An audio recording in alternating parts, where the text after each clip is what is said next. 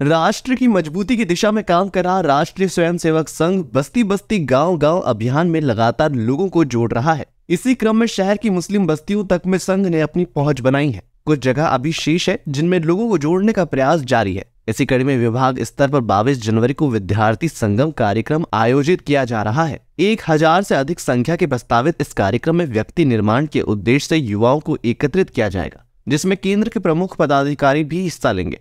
ये बातें संघ के विभाग प्रचारक गोविंद ने प्रेस वार्ता में कही। उन्होंने बताया कि नेताजी सुभाष चंद्र बोस की पूर्व संध्या पर महाविद्यालय स्तर के छात्रों का यह कार्यक्रम होगा, जिसमें पूर्ण गणवेश में विद्यार्थी मौजूद रहेंगे। 21 जनवरी को एक प्रदर्शनी होगी और बाईस को संबोधन आदि कार्यक्रम होगा। रामघाट रोड स्थित कलश गेस्ट हाउस में आयोजित कार्यक्रम में अलीगढ़ व हाथरस जनपद से विद्यार्थी एकत्रित होंगे, जिसमें शामिल होने के लिए रजिस्ट्रेशन शुरू हो गए हैं।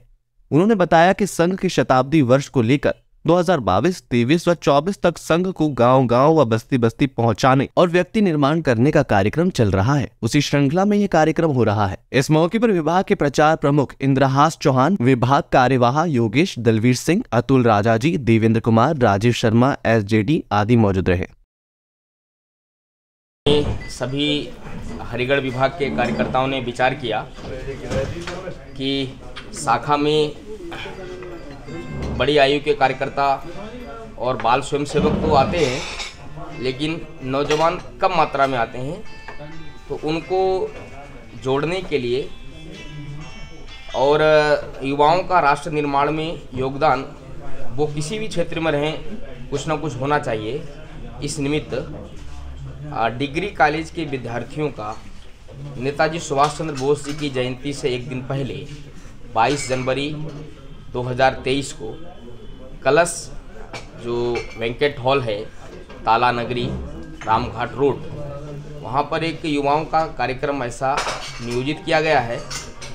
अपने हरिगढ़ विभाग, अर्थात हरिगढ़ महानगर, अतरौली और खैर, और हाथरस जिला, ऐसे चार इकाइयाँ संघ की दृष्टि से हैं। यहाँ के नौजवान विद्यार्थी डिग्री में पढ़ने वाले या डिग्री में पढ़ाने वाले या इंटरमीडिएट या बेसिक में पढ़ाने वाले थर्टी फाइव ईयर्स तक के युवाओं का एक पूर्ण गणवेश में कार्यक्रम ऐसा नियोजन किया गया है और वहाँ से जाने के बाद वो किस प्रकार से संघ के कार्य में या राष्ट्र के लिए अपना क्या योगदान दे सकते हैं, उनकी सक्रिय भूमिका समाज के निर्माण के लिए होनी चाहिए, इस विचार के लिए ऐसा कार्यक्रम का नियोजन बाहर से भी आ रहे हैं या आप ही लोग इसको कंडक्ट करें अपने उद्बोधन के लिए प्रबोधन देने के लिए अपने प्रांतीय अधिकारी क्षेत्रीय अधिकारी और अखिल भारतीय अधिकारी आएँगे और यहाँ की व्यवस्थाओं इत्यादि के लिए हम लोग सब लोग लगे। उनके मन में तो रहता है। जैसे समय की खबरें वो पढ़ते हैं तो उनके मन में रहता है कि हम हम भी संघ से जुड़ें लेकिन सीधे चूँकि वो शिक्षा के क्षेत्र में अपना कैरियर बनाने की तरफ़ ध्यान ज़्यादा रहता है तो इसलिए उनको भी एक ऐसा अवसर प्रदान करना कि वो संघ को नज़दीक से समझ सके। तो ऐसे बीच बीच में संघ कार्यक्रम करता ही है तो इस कार्यक्रम को भी उसी दृष्टि से देखा जाना चाहिए। इसमें हमने दोनों तरह की सुविधा प्रदान की है।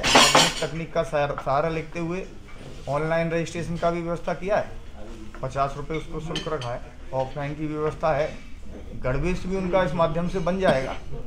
बाकी का जब वो वहाँ आएँगे तो कौन सी कई प्रकार के कार्यक्रम वहाँ होंगे? जैसे प्रदर्शनी है, वैसा हमने बताया।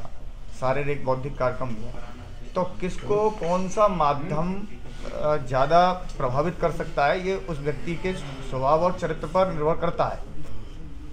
तो वहाँ जब आएँगे तो संघ को और नज़दीक से समझने का उनको अवसर प्रदान